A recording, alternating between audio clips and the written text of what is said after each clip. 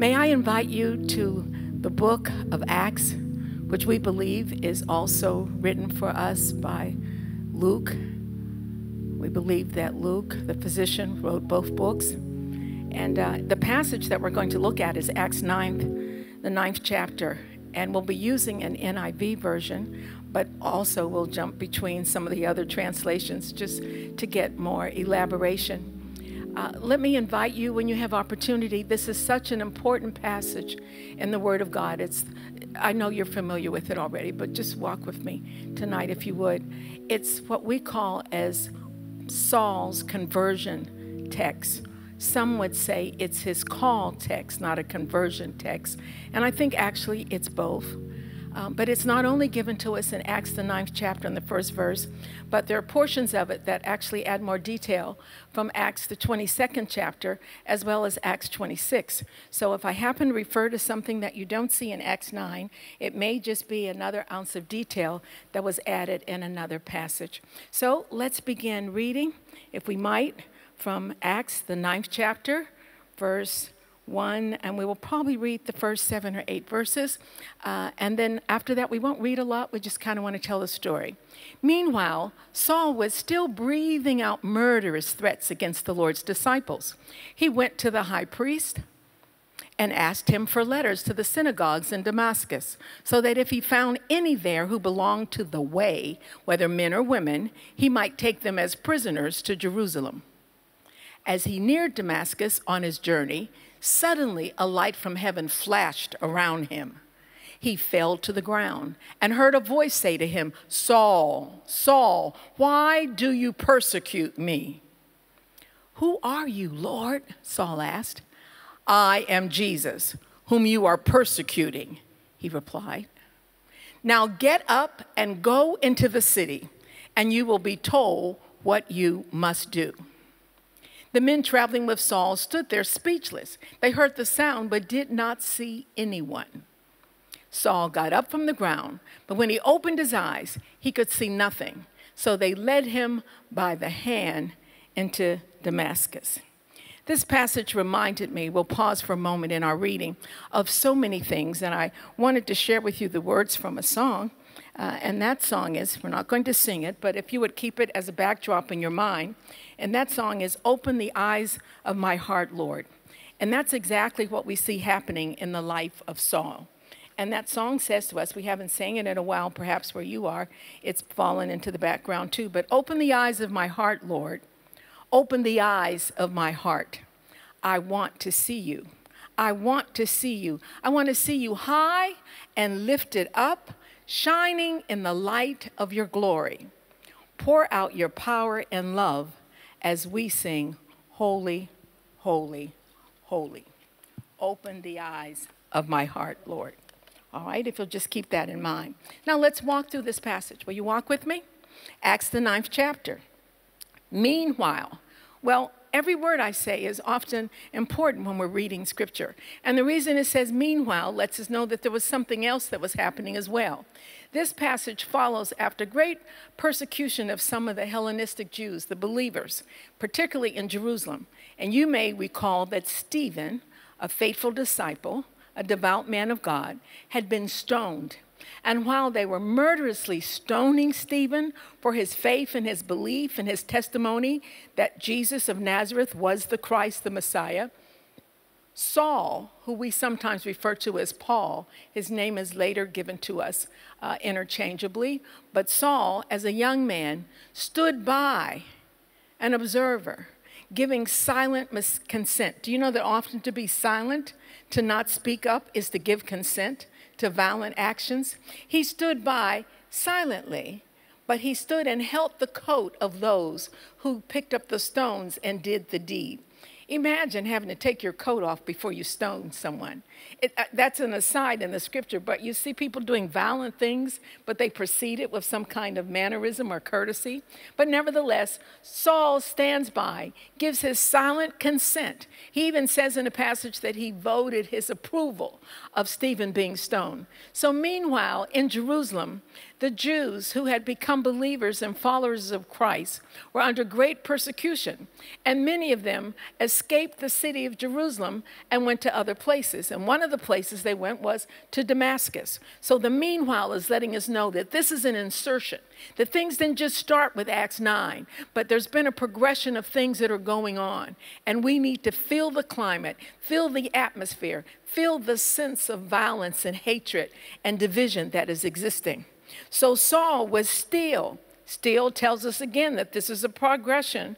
He was still breathing out murderous threats. There's something lost in the NIV. Actually, I prefer the King James there. Uh, and if you'll allow me, I'll give that reading to you. Saul, yet breathing out threatenings and slaughter against the disciples of the Lord. The NIV version kind of makes it concise, but this is too important to just bring it in. We need to have it stretched out. So he is breathing out, or he is breathing out threatenings and slaughter against the disciples of the Lord. Interestingly enough, the word that's used there is not a word, the translation says breathing out, but it's my understanding that in the Greek, what really is described is almost a breathing in, which doesn't seem natural, but it's like he's inhaling the fume and the, the violence and the anger that's all around him. He's taking it on the inside. Uh, it's been translated as breathing out, um, but breathing as, as an exercise is inhaling and exhaling, so we don't have to prove that point. We can accept that. And it is though he is snorting like a war horse that smells the steel of the battle. In other words, he is consumed with this internalized uh, fierceness and uh, hatred, as it were, of the believers. So he is still, he has started this beforehand. He's begun it in Jerusalem, but now he is continuing and carrying it out. Do you know how things start?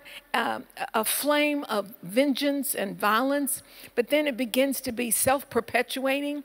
It's as though Saul was not content to just see the harm that was done to some believers in Jerusalem, but now he wants to pursue. Eh, he's, he's a, one writer calls him a terrorist. I would call him a self appointed vigilante. I don't know if that's the right form of the word, like a one man militia, except he doesn't have an automatic weapon. And he's not content to stay where he is, but he goes into another territory with that same vengeance. And now he's leaving Jerusalem and he's going to go to Damascus, which is about a six day or a week's journey walking approximately 135 miles, a bit to the north. I think we have a map. A map may not be of the exact uh, time that we're looking at.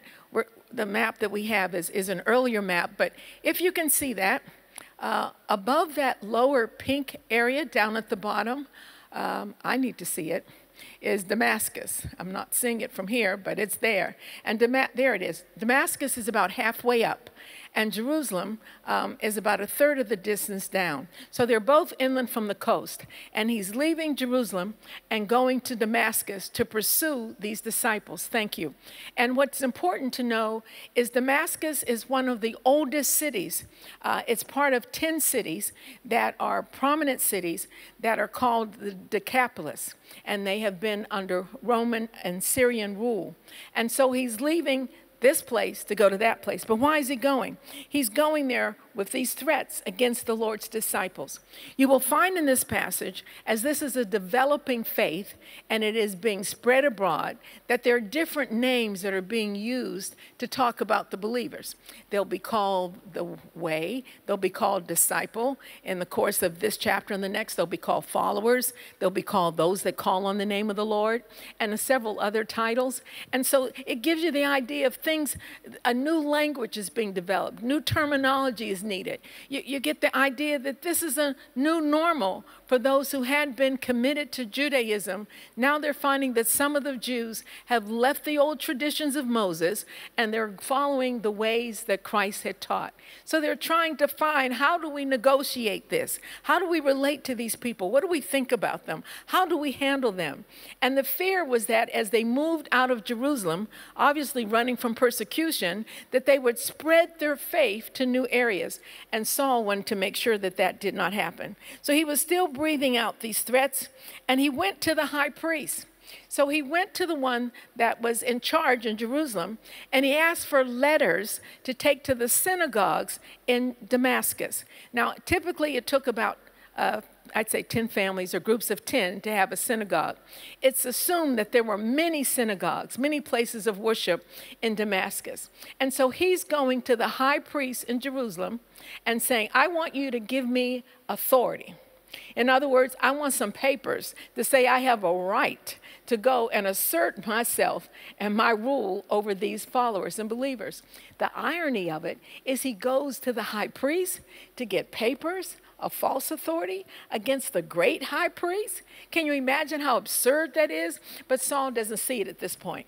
And so uh, he's going to do what he's going to do regardless, but he goes saying, and I now have authority to uh, take these people and the, the, the wording that's used here uh, is not real clear, but the, uh, the implication is he wants to have legal proceedings as well as a judicial punishment. And basically, he's not expecting to exterminate them himself, but he is expecting to uh, see to an extradition. He wants to capture them. He uses the word in one passage, he wants to bind them, and he wants to bring them back for trial in Jerusalem. And then he wants to be there to endorse their punishment. So he's kind of being uh, an executive branch and a judicial branch, and he's just all out of order. But he thinks he's doing this and will receive the commendation of God for it. So he went to the high priest, he asked for letters to the synagogues. If he found any, any men or women, it didn't matter to him. It was just after anyone that was of the faith. Now, the fact that it says if does not mean that if there were any people that were there and prevalent. It just means if he was able to. Uh, contain them, if he was able to locate them, if he was able to, I'll use the word, to capture them. And, and it's important I use the word capture because I didn't give enough credit to this idea of his breathing out threatenings.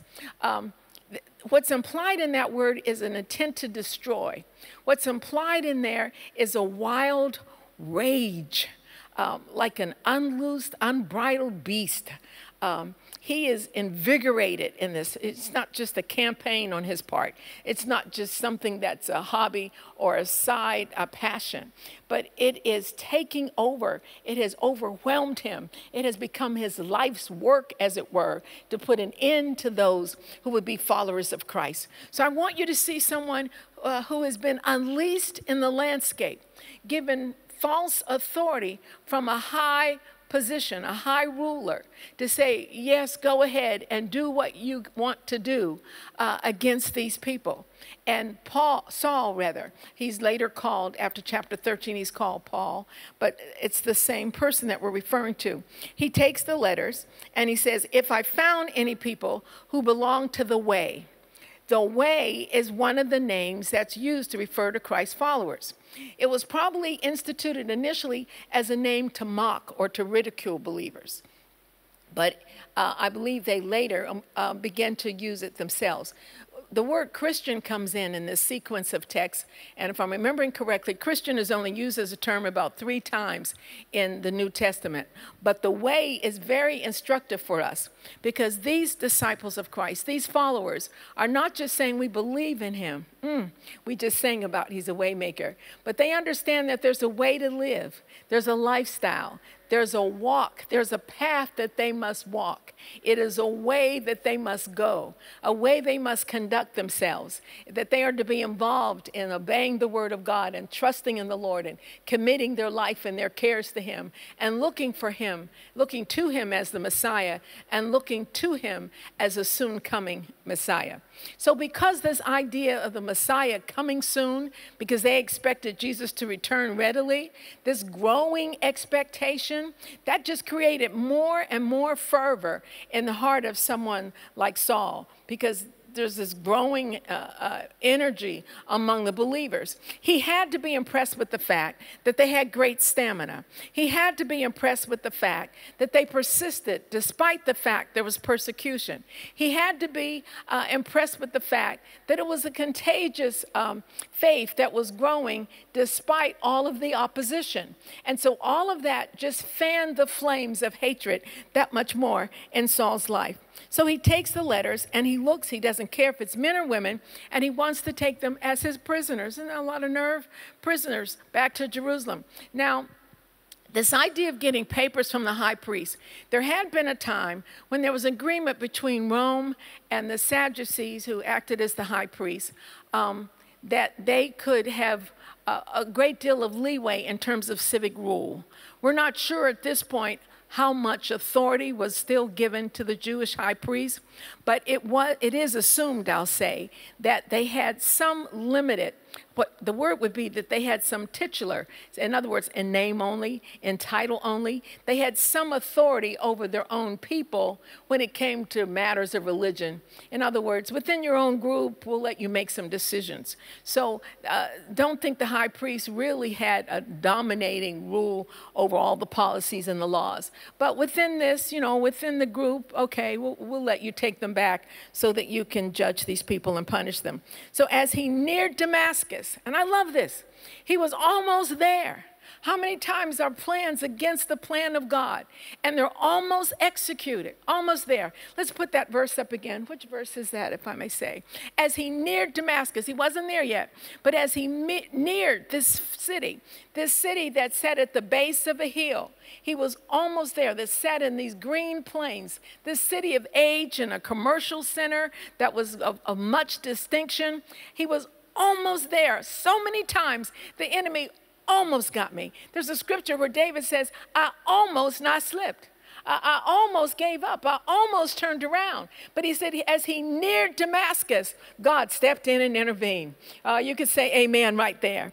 And when he intervened, it says he was near Damascus on his journey, and suddenly a light from heaven flashed around him. And suddenly a light from heaven flashed around him. Now, you know, there are all kind of explanations that are given. It happens that Damascus is in an area that is believed to have a lot of electrical storms and thunder. Some say this was lightning, but I don't necessarily, I don't know whether it was lightning or not, but that doesn't impress me as being the miraculous um, that I believe is really the miracle in this text. But it was a light that was a very bright light. When you read in Acts 22 and 26, we believe this was midday that Paul was traveling, and this light that shone suddenly, that was all around him and not everyone else else that it was brighter than the noonday sun. We have just a stock picture that gives us an image. It's obviously not uh, accurate, but let's take a look at the, the graphic that shows Paul, Saul as he's kneeling and this light is around him. It was a blinding light. It was a light that was the light of the glory of God. Get a picture of this. You're just traveling down the road. The scripture says he has companions. We assume that his companions are maybe some temple police and probably some other wayfarers who are just traveling in a group for safety as they travel. And then you're almost to your destination, and there is this stark interruption.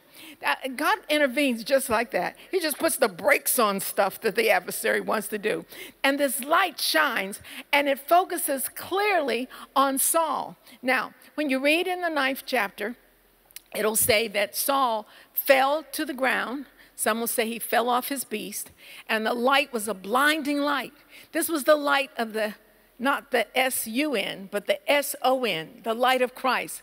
This is the light of the one who says, I am the light of the world. This is the light that shines in darkness. And so what happens is this blinding light shines.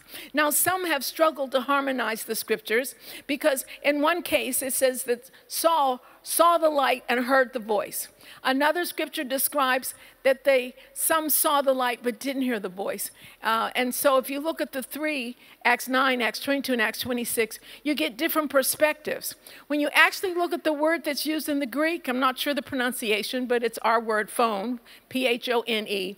It means that it could be a noise, it could be a sound, or it could be an articulated language. So, what seems to be the case is that everyone heard something, but that only Saul was able to comprehend and get the uh, understanding of what the voice was saying. So, they all exhibited a light because they fell to the ground. The scripture says his companions, after it was over, they got up and they were speechless.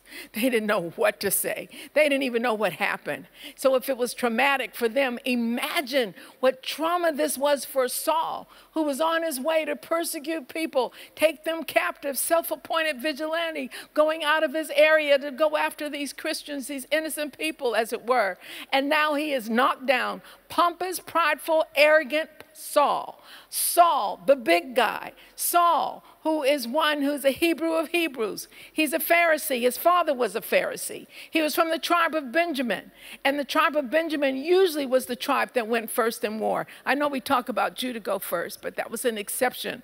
And it was so much so that the tribe of Benjamin had room to be proud until there was a saying that said, After you, Benjamin, uh, meaning the tribe. So he, he had some clout. He had studied at the feet of Gamaliel. He, he was learned, he was achieved. He said, I'm a Hebrew of Hebrews. He knew the Holy Scrolls. He was proficient in the law. He had a razor sharp intellect. He was the man. Do you get this? And now he is on the ground.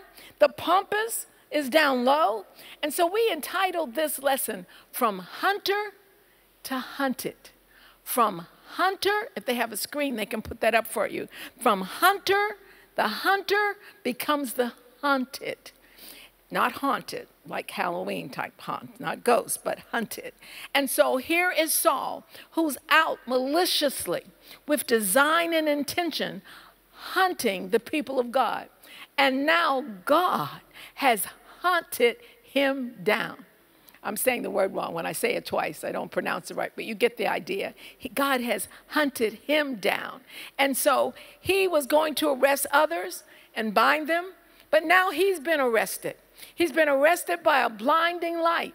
Now, this light is so bright in the midday, siesta time. It was, it was so bright until when he gets up, he can't see. The others are speechless, but he can't see at all. And this loss of his physical sight is a parable for the sightlessness of his spirit. Mm-hmm. You don't think of the spirit as having eyes or the heart as having eyes. But we just looked at some words that said, Open the eyes of my heart, Lord. I want to see you. No doubt Saul wanted his natural eyes to be open, but the better plea for him to come to and progress to would be to have the sight of his heart, to have his heart enlightened. So the text is engrossing at this point and engaging. And so this light from heaven flashed around him, and he fell to the ground. So he goes from high to low. Physically, his position has changed, but not just physically. In terms of what he is doing, in terms of his agenda, in terms of who he is, in terms of his commissioning, it now means nothing in terms of his direction and his hopes and his plan, all of it is in the ground. All of it, as it were, is not so much on the physical ground, but it's just something to be trodden on. Do you get this? We talk about giants, they have to come down. We talked last couple weeks ago about walls coming down. Well, these are the plans of men, they come down. These are people who set them up, self appointed arrogance, falling down. So I don't want you to just read through the story quickly as though he just fell off his beast or his horse or whatever. But I want you to see those who have set themselves in opposition to a living God, how it is God brings them down. He falls to the ground. He is low from high, he is laid low. And not only is he laid low, but he recognizes there's a voice from heaven. And the light is spotlight, flashlight, big heavenly flashlight, huge light, is focused, focused in on him. Now, he does not know whose voice this is. But he does know it's a voice from heaven. He knows this is not an earthly voice. This is not a high priest voice. This is not a ruler from Jerusalem. Um, he, he, he knows that uh, the Greeks had lots of gods. They had a, a, god of this and a god of that and a god of this. They had Iris, who was the god of women and children and medicine. But uh, the Jews had one God, Yahweh. And the Jews believed, it was the rabbinic teaching, that if there was a voice that came from heaven, that it had to be the voice not of some lesser God, but they believed monotheistic, they believed in one God. So any voice that came from heaven, hallelujah, had to be the voice of God. So he wasn't certain uh, exactly, but he knew there was some deity involved. He knew this was a divine encounter. He knew this was a divine collision. On, have you had those kind of things? Have you had something that happened that wasn't on your schedule and you just ran smack dab into the will of God? Sometimes it was sicknesses through us there. Sometimes it was something good, a promotion that came there. But it just reoriented everything in our life. It just scrambled things all up. And again, it was an effort to find a new normal because the Jews were trying to deal with these new believers, these Hellenistic Christians, and trying to find what to call them and how to deal with them. And now it's personified in Paul, it's exaggerated in him because he was the epitome of those who was a persecutor. And now the persecutor is going to transition and become the persecuted.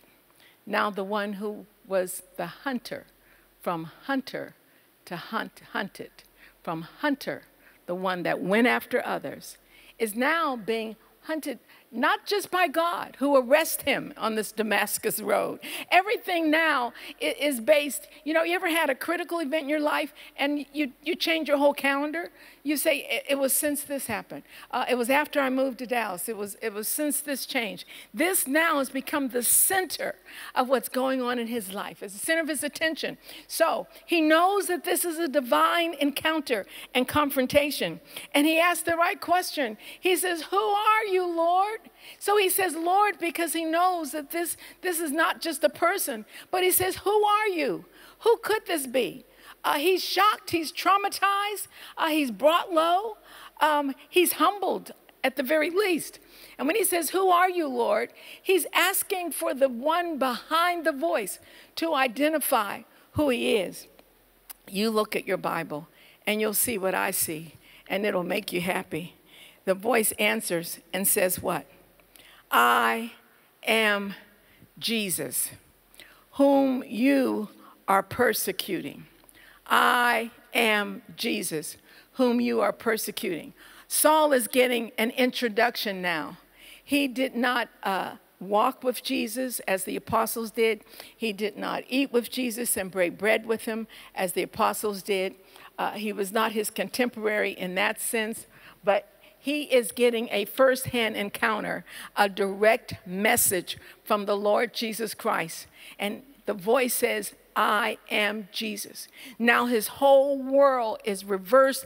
Everything is flipped upside down because the one he has been criticizing, uh, the, the followers and the people of the way for, is speaking to him. Now there is no question that Jesus is risen. Now, there is no question that he did ascend to the Father. Now, there is no question that he is yet alive. This turns his whole world upside down. He has given his life, his energy, his passion to refuting the good news of salvation.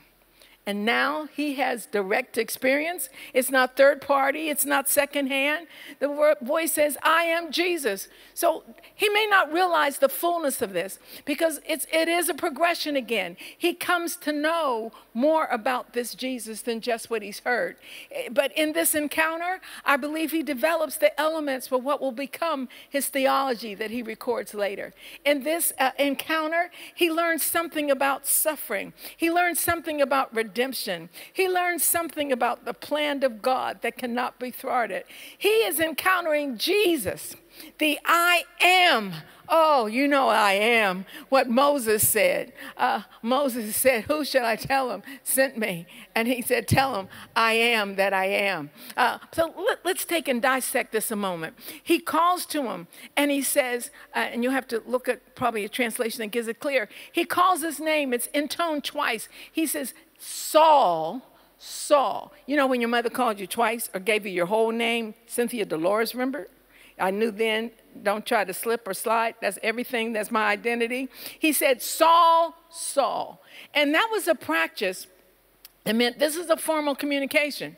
You're not going to slide through this. This is, this is real business. Remember Abraham? When God called Abraham, he said, What? Abraham, Abraham. He said, Stay your hand. He said, I know now that you love me. You don't have to take your son's life. He was going to take Isaac's life. Moses, Moses. When God spoke to Moses through a burning bush, remember that? I'm sure you do. He was letting him know take off your shoes, take off your sandals. The ground you're standing on is holy ground. When you hear that reverberated, that repetition, God means business. And He does mean business with anyone that comes against the kingdom of God. So He's saying Saul, Saul, just like He said Abraham, Abraham, and Moses and Moses. And there were some other examples. There was Elisha. When Elijah was caught up, he began to say, My God, uh, uh, no, he said, My Father my Father, as he spoke to the chariots of God. That emphasis was given again. Uh, when Martha was there with the Lord, uh, Jesus spoke to her intimately and personally. And he said, Martha, Martha. And he said, Don't touch me. I've not yet ascended to my Father. And when Jesus was on the cross, what did he say? He said, My God, my God. So, this, listen, this was not misdirected. This wasn't the fault of somebody's postal system. This was a direct message from the portals of heaven. This was the light of God's glory shining through Jesus Christ. Uh, this must have been the same radiance that was on the Mount of Transfiguration, that was brighter than the sun in the sky, that arrested the hunter, has now become hunted. And so now he is hearing from the one that says, I am. Those I ams. The one that he says, I'm the door, I'm the shepherd, I'm the light of the world, I'm the bread of heaven. Come on. I'm, I am, I am that I am. The I ams of God, the, the seven main I ams. I'm the gate.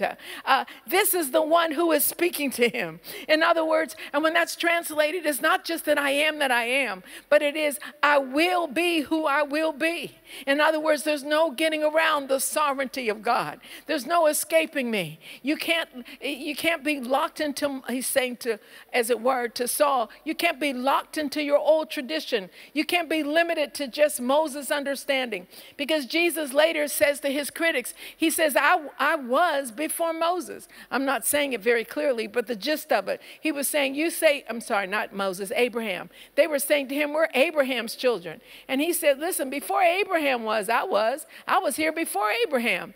In other words, Abraham acknowledged the power of God. And he was saying, You really aren't acting like children of Abraham. So there's this intimate, that's very important.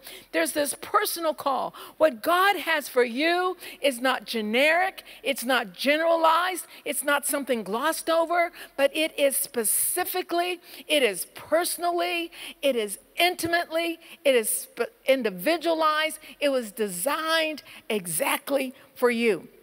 I haven't gotten very far, have I?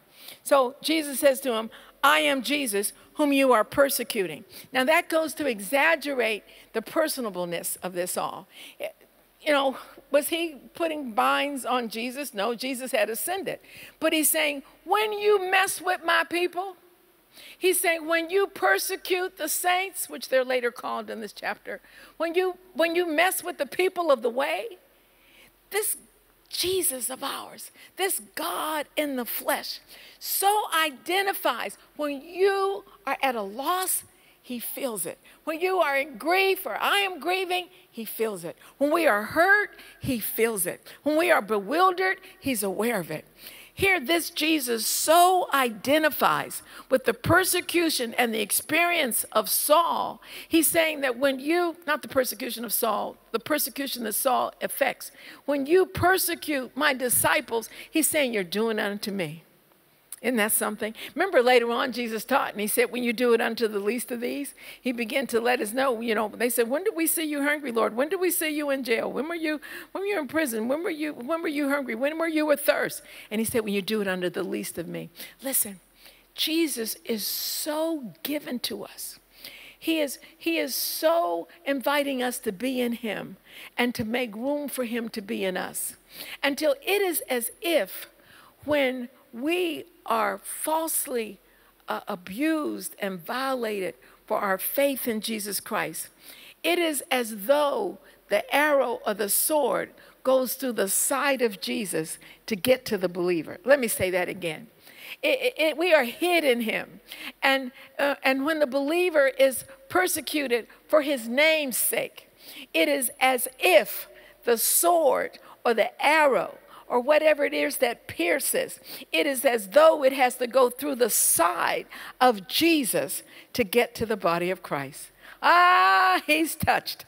He's touched by the feeling of our infirmities. And he said, There's no temptation, but, but such as is common to man. We emphasize that divinity side, but we have to remember that he also was human, that he feels. He feels. He wept, talking about how it was that God would say, Abraham, Abraham, and Moses, Moses, and Martha, Martha uh, and how um, that, that, emphasis of names when David was grieving his son, uh, his rebellious son, he said, Absalom, oh, my son, Absalom. When Jesus was weeping over Jerusalem, uh, he called the name twice and said, How I would have gathered you like a hen gathers her chicks. But I want you to know how personal this is. That's why I went back to this point. Jesus also makes a point in a scripture when he says, There's coming a day when people are going to say, Lord, didn't we do, I don't remember exactly what it was, miracles or works in your name? And they're going to say, Lord, Lord. And he's going to say, I never knew you. They're going to pretend that they know him so well until they're going to say, Lord, Lord. Like he says, Abraham, Abraham, and Moses, Moses, Martha, Martha, and Saul, Saul. They're going to come up with an imitation of intimacy, an imitation of relationship. But you can't fake true relationship. And so he's saying, when that day comes and people are going to say what they did in my name, and they say, Lord, Lord, they're going to imitate that, that same form of knowledge. He's going to say, Depart from me. I never knew you. Saul has a personal encounter. There is nothing that takes the place of a personal encounter with God. I remember when I was growing up, they used to always use that terminology. There was something going on in the Star Wars movies at that time. I don't remember exactly what it was. And the preachers would pull that example, but it was this idea of you've got to meet God. And any meeting with God is not casual. Any meeting with God is not routine. Any real meeting of God is not ordinary, but it dates, it sets everything in a different way. And he says, Saul, why do you persecute me? Uh, and Saul says, Who are you, Lord? He says, I am Jesus. And he says to him, remember, he's gone from the hunter to being hunted. He says to him, Get up and go into the city. So if we had a subtitle for today, after saying from hunted to hunter, from hunter to hunted, it would be get up to go in. Get up out of the situation that has held you down. Get up out of the dust that you've not through any fault of your own perhaps fallen, found yourself fallen in. Get up from that low place, that broken place, that hurt place, that wounded, injured place. Get up from that place of humiliation and shame. Get up from that sense of rejection. Get up and go somewhere. You can't go until you get up. You got to get up and go in. Ah, thank you, Jesus. And we have terminology a lot of church people do, talking about going in. You know, when we talk about going, we're like going into worship, getting in the presence of the Lord. Well, here the voice was telling him, get up and go into the city. You're going to Damascus, all right, but you're not going riding on a high horse. You're going humble and low. You're not going with your vicious plan. You're going to go and learn how to wait on me to get directions. And when you get there, I'll tell you what you're supposed to do. You're not going in your own knowledge. Oh, I feel that thing? Not going in your own strength, not going in your own wisdom. Somebody ought to feel that. Someone ought to say, Lord, I made plans and they didn't work out. I made a schedule. I had all the designs of it. I had the, the markers. I put it down in my, in my electronic device, and I had things that were going to happen this week and that week and that month. But God is saying to us, get up. Don't wallow in what's going. We can't even afford to wallow in the pandemic. We can't afford to wallow in the economic situation. We can't afford to be overly responsible, yes, but we can't wallow in the political divisions and derision. We have to still get a plan to move forward no matter what's happening. And so, in the middle of this blinding light, he's lost his sight. He can't see. The voice says, Get up and go in. And I'm saying to you, get up and go after what God has for you. Get up and go in. Get those children, get that husband, get that wife, get those family members, and begin to say, listen, we still have our faith. We're going to trust God and believe Him. We're not going to be under the load and stuck in it, but we're going to get up from where we are, no matter what opposition and oppression still exists, and we're going to go into the presence of God. And whatever we do, whatever we have, we're going to do it giving God praise and thanksgiving for it. He says, Get up and go in. But this time, look, uh, you got to see this. You got to get the spark of this text. He doesn't go in like he was before. I imagine he was just all big and puffed up and self righteous. He now is physically blind. His spirit sight, his spiritual sight, has been pointed out as sightless. He goes in the city being led by the hand. Okay? It's easy going to the city when you can see your way. I better make sure I don't bump into a bench. But he goes and he's led by the hand. What, is, what does that say to us, Bible students? It tells us that if we're really going to enter into the kingdom of God, we have to enter in, wow, as a child. Who do we take by the hand and help them cross the street? Who do we lead through crowds by the hand? Those that are young or those that are frail and elderly. He now goes in dependent depending. That's how we have to live our life, depending on the Lord. You know, I always hear these hymns when I'm talking. Trust and obey. There's no other way to be happy in Jesus but to trust and obey. He is now led into the city, into Damascus. We won't get through all the text, but we're going to get through a good part of it. And um, he says, You're going to find out what to do. So the men that are traveling with him, they get up and they're speechless. So everybody's changed.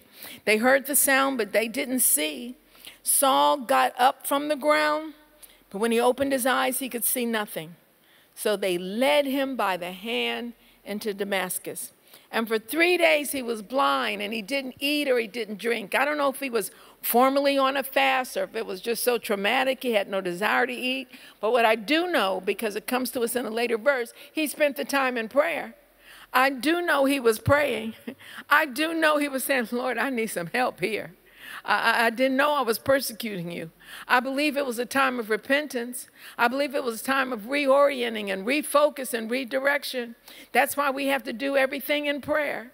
And so when, when uh, he is there, those three days, and he can't see, the Lord has a way uh, to help him and to bring him out.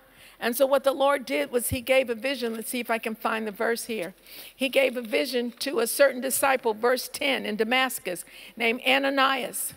Uh, Ananias' name means uh, most gracious or graciousness. The Lord called to Ananias, I'm to move a little quicker, in a vision. So here's the second vision. It says, Ananias, and Ananias is a devout disciple. He recognizes the voice of the Lord. It's like that third time Samuel went to Eli and he knew how God spoke. And so Ananias said, Yes, Lord, he answered. Next verse. The Lord told him, Go. God has a lot of goes, right? Go to the house of Judas, not the Judas you're thinking of, on Straight Street. Can you imagine living on Straight Street? Go to the house of Judas on Straight Street and ask for a man from Tarsus named Saul, for he is praying. I told you that's what Saul was doing. Now, Straight Street would be like, is it Regent Street in London or um, Michigan Avenue? Where's Michigan Avenue? In Chicago? Well, Fifth Avenue in New York. I know that one for sure. So I get you lost. It's the main thoroughfare, it runs east to west. And Ananias' house was believed to be on the west end of this big boulevard. And today there is what's considered, believed to be Ananias' chapel. Uh, if we have a graph of that, we'll just show it to you. And now these are just stock pictures. They're not what one would see in that time, but it's to help you get a spark of the text. So there's a picture of what we are told is the chapel that has been put in this place where Ananias once was. Don't think it looked like that. Okay, thank you. So uh, God gives very specific instructions in verse 10 again to Ananias. He says, Go, and I want you to, he tells him what street to go to. He tells him what house to go to. He tells him who's the owner of the house. He says, This man named Judas. He lives on Straight streets. so you can't get lost. Very clear directions from the Lord. He said, And I want you to go, and there's going to be one of named Saul. Now Saul's homeland was Tarsus, Saul of Tarsus, and he says you're going to find him praying. I bet he was praying after what he went through. And he said, and he has seen in a vision that a man named Ananias would be coming in and putting his hand on him that he might receive his sight. So I'm sure Ananias said, oh, I'm glad he had a vision. I'm not just going in there unintroduced. Then Ananias answered the Lord. Now, don't be upset with him. He, he has an understandable hesitancy. He's talking back to the Lord. You and I would too. He said, Wait a minute, let's have a sidebar. Let's see that script verse again. He said, I have heard many, not one, many reports, which means it's verifiable, that this man and all about this man and all the harm he has done to your people, not somebody else. I love the way Ananias puts it on the Lord. He's done many harmful things to your people, your holy people in Jerusalem. Verse 14, please. And he has come here and he has papers. He has authority from the chief priest to arrest all who call on your name. You see how he's putting it on the Lord? He said, These are your folks, and they're calling on your name. Next verse, please. But the Lord said to Ananias, Go in other words, I, I, understand all the details. You don't have to fill me in. This man is my chosen instrument to proclaim my name to the Gentiles and their kings and to the people of Israel. One more verse. I will show him how much he must suffer for my name. Now, there's some jewels in this that are just important for us to see. So, Ananias gets a vision, and he's told that Saul has also been given a vision, and that he is to go, and he's to lay hands on him so he can receive his sight. And Ananias is given a few explanations to the Lord, but when it's emphasized to him, he says, All right, I'm going. But the Lord makes it plain. He says, He's a chosen vessel. We're a chosen and a royal priesthood. I've set him aside. You know what came to me this week? We regularly pray in our house, and I'm sure you do too, thy kingdom come. And so I think when the kingdom come, there's going to be healing. That when the Lord's kingdom comes on earth as it is in heaven, there's going to be peace, there's going to be some justice, relationships will be balanced, things will be stable. But now I'm starting to suspect, I've been praying about this several days, that when the kingdom comes, it doesn't necessarily look like we think it's going to look. That maybe sometimes that kingdom comes on earth in a low way, in a quiet way. It, let me give you a rough illustration.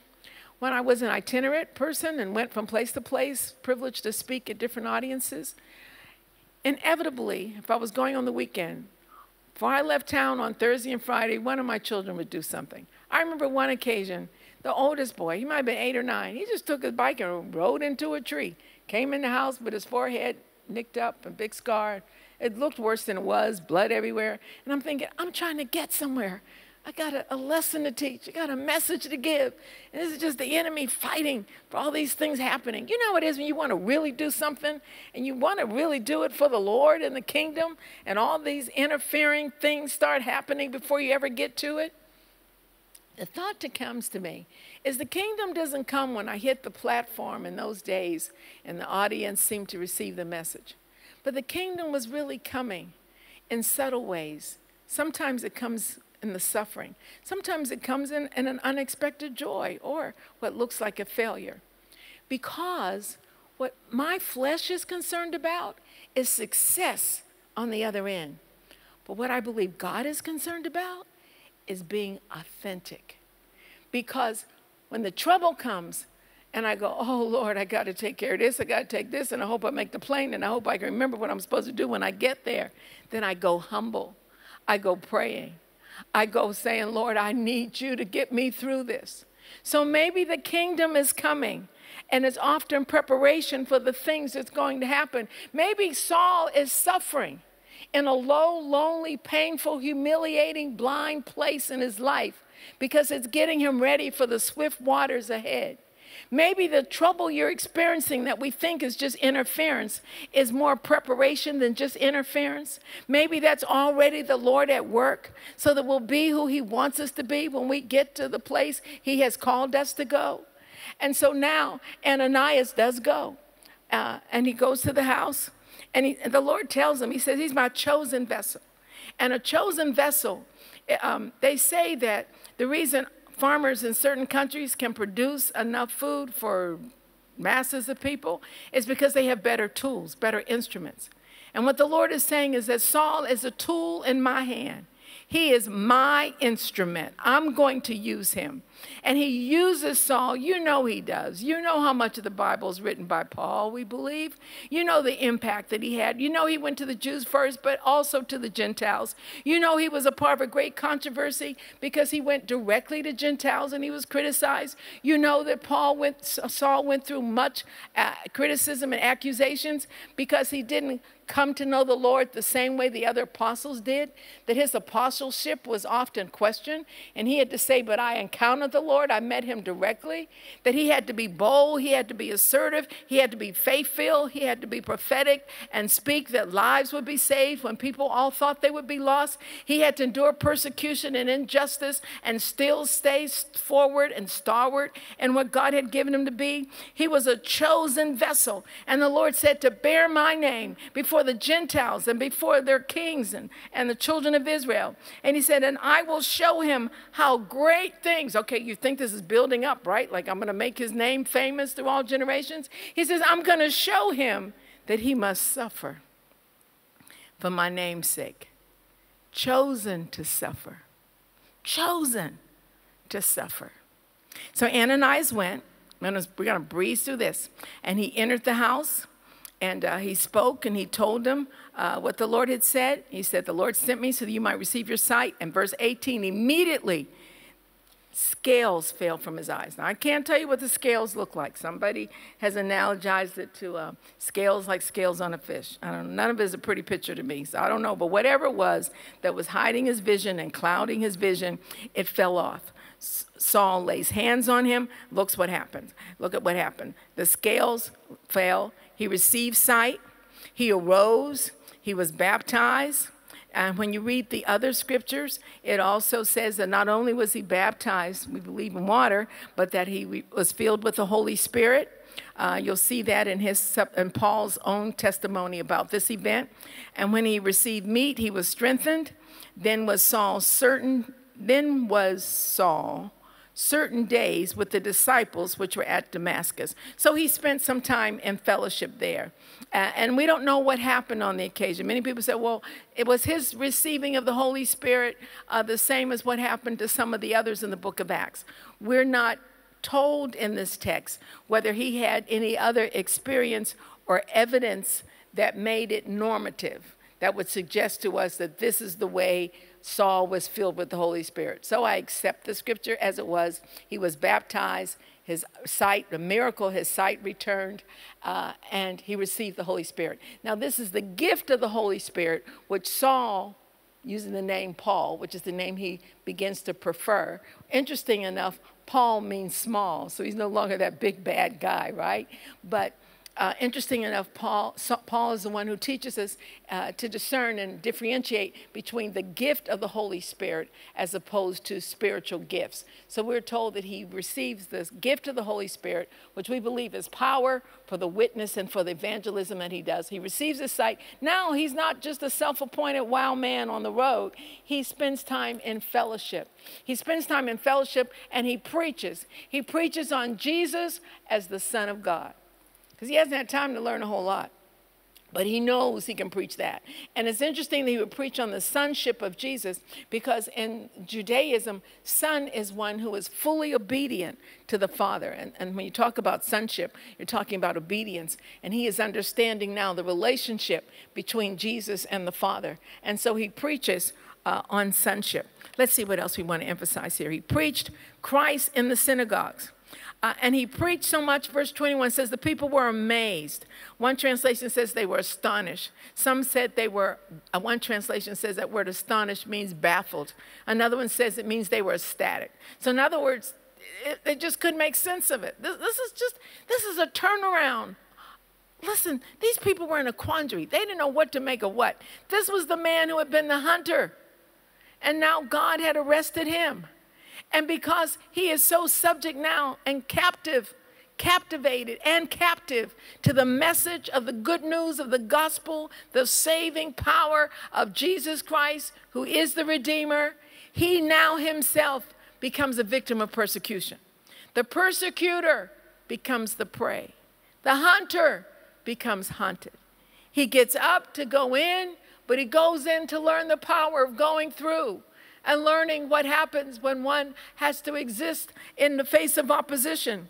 But God will not leave him without a witness.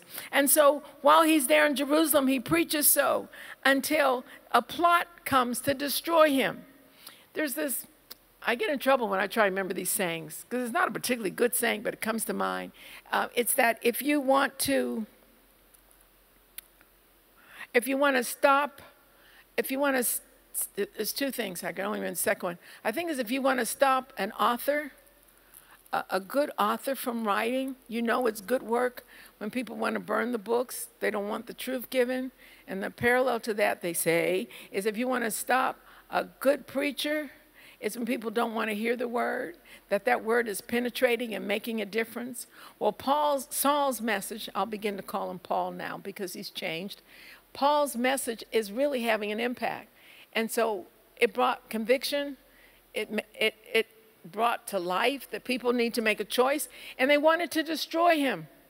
They wanted to get rid of him. And so now, for a different reason, he's persecuted.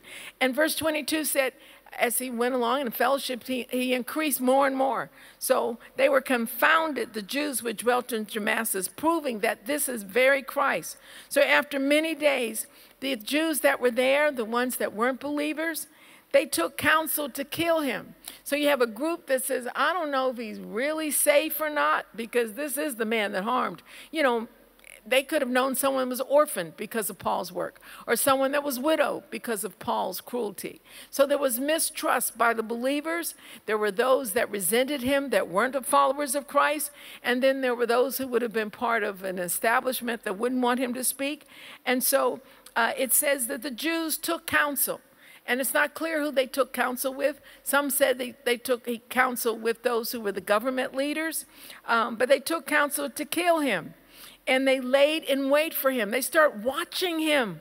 Okay, this is really a big deal. He's gone from one side to the other. And the city had two big gates, colonnades, main highway, main boulevard. But the two ways to leave the town were by these big gates. They watched the gates day and night. In other words, he will not escape. But God had a way. Thank you, Jesus. He made a way of escape. And someone who was a believer had a house on the wall, or they borrowed access to a house on the wall, and they let him down out of a window. That's familiar, right? That's happened before. David went out of a window to escape. Uh, they let him out of a window in a basket. That word basket is more like, a, a, in our language, would be more like a hamper.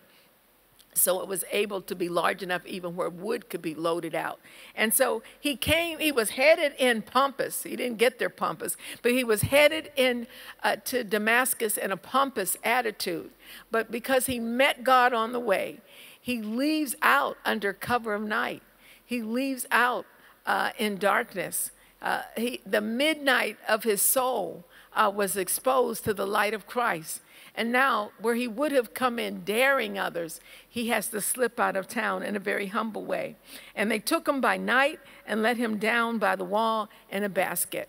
Uh, and so um, he left Damascus and then he went back to Jerusalem. And when he went there, I'll just tell this part to you, verse 26, he wanted to join with the disciples, the other believers, like, hey guys, I'm changed. But they were afraid of him. He had such a reputation, they didn't believe that he really was a disciple.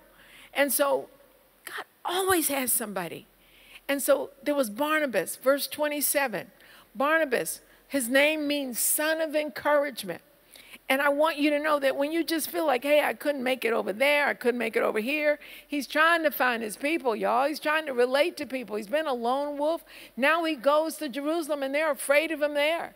And so Barnabas, whose name means sons of encouragement, let's look at that verse. Barnabas took him and brought him to the apostles. I love this. He was an intercessor, he was a reconciler for him, he was an intermediary. That's what we need. Sometimes you need another believer to come alongside and help you. He took him. Now, picture this. Stay with that verse a minute. Remember, he was taken by the hand and led into the city? Now he has to be taken by the hand, as it were, and led into introduction to the apostles. So Barnabas, the son of encouragement, God sent somebody to encourage you, took him and brought him to the apostles, and he told them this testimony. He said, Listen, let me tell you about this man. He is changed. The Lord spoke to him on the Damascus road. He preached fearlessly in Damascus, and he was with them, and uh, he, he told them all about it. And so he made a way for Saul, who later is called Paul, to be accepted into the community of believers because we can't do this thing alone. We talked about partnership. We have to be in community. And what did he do? He did what he had done in Damascus. He began to preach the gospel, fearlessly. See, it had been three years since he was converted before he came back to Jerusalem. So that's a long time. And I can see people saying, well, if you changed so much, how come you haven't been here with the apostles? How come you're so late just getting back to us? But the Lord sent him to various places in the interim before he came back to Jerusalem. And he had to be received. And that's important because he didn't stay as a lone person, he was accepted into the fellowship. And sometimes we say, well, I heard from God, I'm going to do my own thing. Okay, uh, granted, you may have heard, but there's some point at which we become a body of Christ. And we have to come into the fellowship of, and the family of faith and of believers and work collaboratively together. So now he's received there in Jerusalem. Um, we have a demonstration for you, so I want you to prepare for that. And the demonstration that we want to share is how God can really work a change in our life. And uh, he preached so in Jerusalem until uh, people got envious there all over again. And they had to slip him out of Jerusalem. Let's see if I can find where it is. I know they sent him to Caesarea. Verse 30, which when the brethren knew, they brought him down to Caesarea and sent him forth to Tarsus. Uh, then, final verse, then had the churches rest throughout all Judea and Galilee and Samaria and were edified and walking in the fear of the Lord and in the comfort. That sounds good. I'm reading from a different translation. Let me read it from the NIV. Then the church throughout Judea, Galilee, and Samaria enjoyed a time of peace and was strengthened, living in the fear of the Lord and encouraged by the Holy Spirit. It increased in numbers. That's what God can do. Total time of trouble and heartache, but then God gave them a season of peace. Peace because one of the, the worst persecutors was no longer persecuting. Uh, he had stopped doing what he was doing. I'm going to invite you now um, to see and to share with us uh, a demonstration of how God can change. I said in the beginning that this lesson was for those who felt like they were at their end, not only their wits' end, but just desperate for God to move. And not only do we want Him to give us a sight and our heart, open the eyes of my heart. But I want to remind you of a song that was popularized a while back that just says, A change has come over me. Saul made a great change, a great change. And I want to ask you that question today. Christ is the one who is the hunter, not us. Christ is the one who is the initiator. He's the one that brings us to our knees and wants to acknowledge who He wants to be in our life because we need Him. And if you're there, if you're here, if we're together, and if you've come like Saul had to do to the end of yourself, you just don't have it in you, and you recognize that it's in Him, then I'm going to invite you to identify with the change that God made. And I'm going to say, taking him from Saul to Paul. We're not told that that's why his name was changed, but that'll help us to see the differentiation from night to day, from harsh to meek, from self righteous to considerate. A change was made in his life. And so, if you've been brought to the end of your resources, I'm going to say to you today get up so you can go into the presence of the Lord. I'm going to say give up so you can give in to what God has planned for you. And I'm going to invite you to share this just very simple presentation, but I'm going to ask you to share it with us prayerfully and think about the change that Christ can make and will make in your life. A change has come over me. From hunter to the hunted Paul the hunter. Paul the hunter was one of blind heat, wicked zeal, a brutal, cruel man. He was untamed in his passions. He was an unbridled beast, rough, rampaging, wild, fierce in his cruelty. He was implacable. Nothing could stop him and soothe him. He was enraged, a self appointed exterminator, bent on terrorizing the people of God. A man who wanted slaughter, who breathed out threatenings and murder, intimidating, violent, frightening, a raging war horse. This was the hunter. But our God can work a change, a change on a Damascus road. Our Damascus roads may not look alike, they may look differently. And I don't know what your Damascus road looks like, but let me tell you what God can do for you, as He did for Saul. He redirected his energies. He now was a man that did not find all wisdom in himself, but he come, came to know the knowledge of God.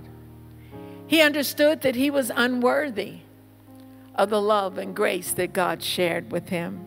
And he was led now, not brutal, not violent, not wicked, unbridled zeal, but he was led like a child. Reminds us of the master who was led like a lamb to the slaughter. Not in his own power. No, no, no. Not, not in his own might. Not, not even in his own strength. But open to the plan of God. Open to kinship and fellowship with the saints. Open to collaboration and community in need, learning what it is to have one another. Formerly the hunter, but now he's listening for God's direction, sensitive to his whisper, not rough and wild, reposed, quiet, prayerfully in retreat, calm, inquisitive. Lord, what would you have me to do?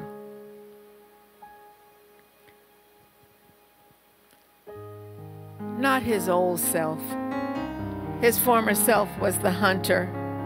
The hunter was pompous, puffed up, arrogant, stiff necked proud, chest pushed out, impressed with his own credentials, Hebrew of Hebrews, Pharisee, learned of the tribe of Benjamin, reputation to uphold.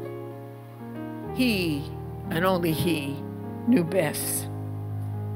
He was pleased with himself, self absorbed, self appointed, self credentialed and with a false authority that couldn't stand the test, self willed, thinking he could do it on his own, independent. He was callous, not concerned about others, just self righteous. He was bigoted, and his God was a distant, punitive God. But he went from the hunter to being hunted by a loving God. A change, a change came over him. A change that the song says he washed away my sins and Saul becoming Paul was made whole again. A wonderful change can come not only to him but to you. And a wonderful change has been reserved for me. And we too can be changed and our life can be complete. And so now this Saul becomes a disciple. This Saul knows that he has a God who is intimate, who is caring, who pursues him, who chases him down, who follows him, who creeps into his midnight and dries his eyes and soothes his brow. He has a God now who is personal, who is intimate, who sends the Holy Spirit as a paraclete, who says, I'll never leave you alone. I won't abandon you. I care about you because you are my child and I will make ways for you. Trust me. Saturate yourself in prayer. Access the daily grace. This, this Paul, this new man, this changed man, his heart is daily assaulted by the grace of God. His life is peppered and seasoned and flavored by an indescribable love. A change has come over him. Pride is broken. His God is vulnerable because he can be touched by the feeling of his infirmities. His God, his God, his God is our God. His God will be our God even until the end. His God is an infinite God. His God will never leave us, never forsake us, never abandon us. His God brings about a change and a conversion. First Timothy, we have a screen for the scripture explains what conversion is. 1 Timothy 1 13 through 17. Thank you, Miss Hudson. Paul said, Even though I was once a blasphemer and a persecutor and a violent man, I was shown mercy he said, What I did, I did it in ignorance and unbelief. The grace of our Lord was poured out on me abundantly, along with the faith and love that are in Christ Jesus. Listen, it doesn't matter if you're a blasphemer, it doesn't matter if you have been found guilty when you're innocent. It matters on one level, but it doesn't matter in terms of keeping you away from the grace of God. He is yet ready to pour that grace on our lives.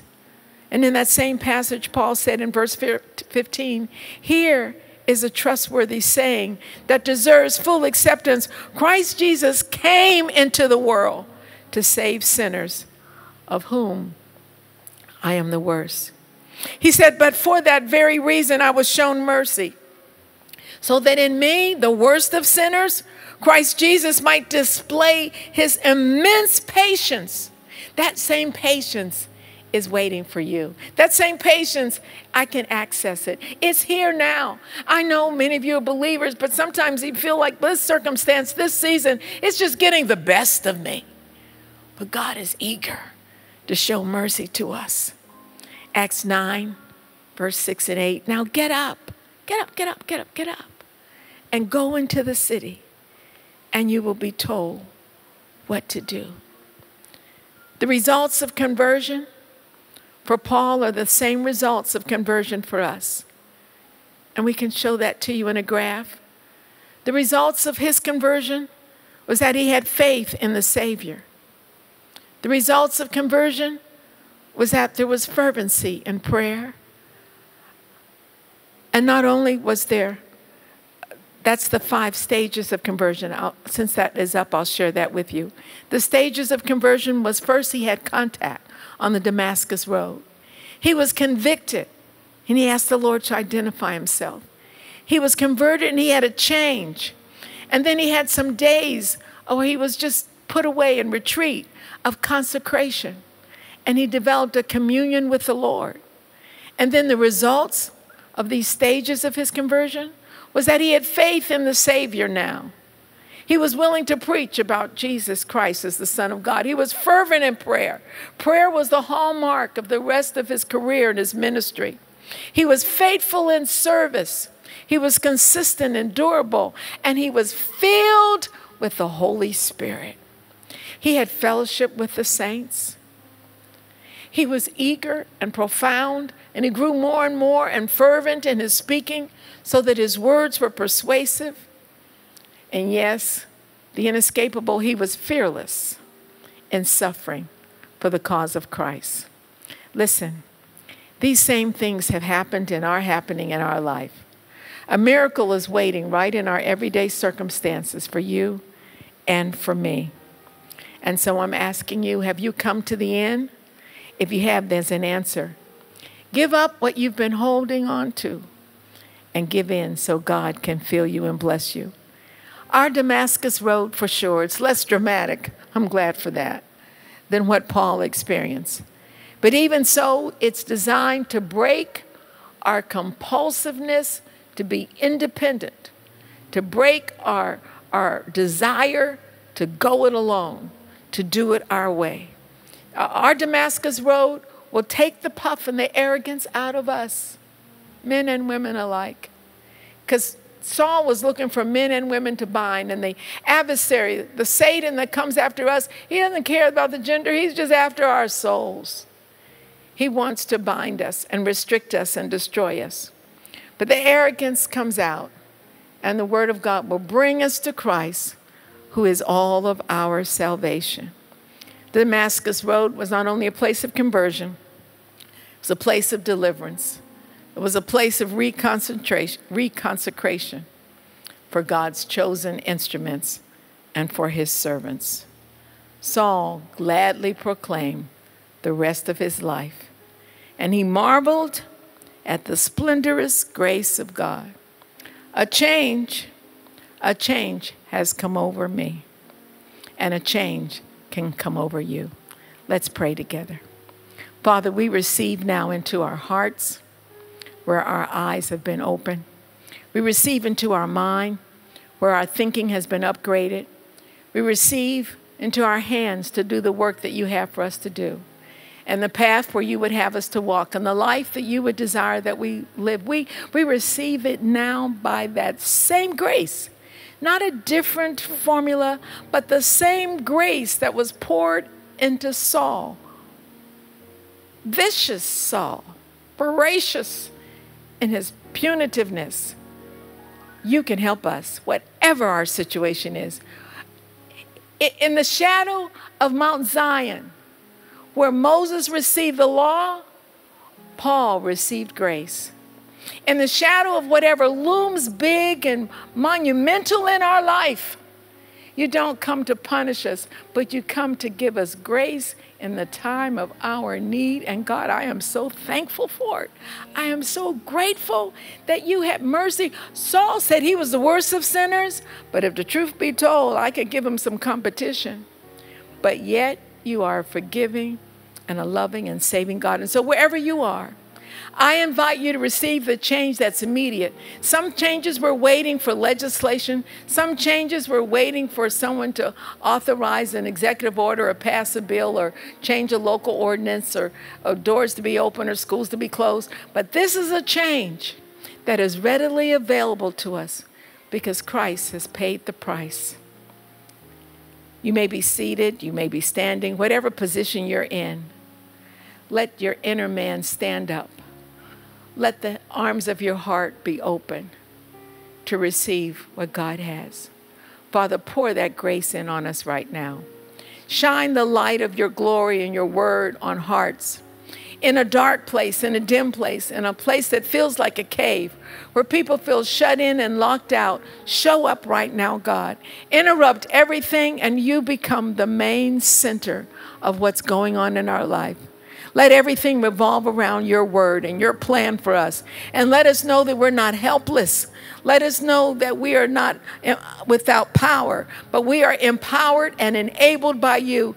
You are, hallelujah, you are our Barnabas. Your Holy Spirit has come to encourage us. You're the one that introduces us. You're the one that takes our petitions to the Father. You're the one that leads us and guides us in paths of righteousness for your name's sake. You're the one that brings us into fellowship and kinship. And you're the one that brings us into the family of God and is as our elder brother. And God, there is no one like you anywhere.